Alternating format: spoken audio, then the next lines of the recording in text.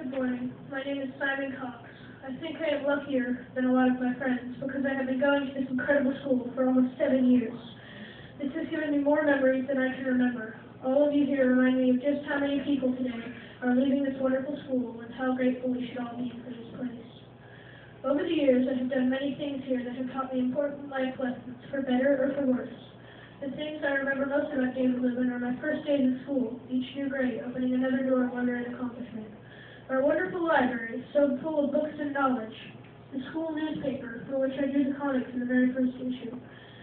And my friend and I playing games and talking out on the playground.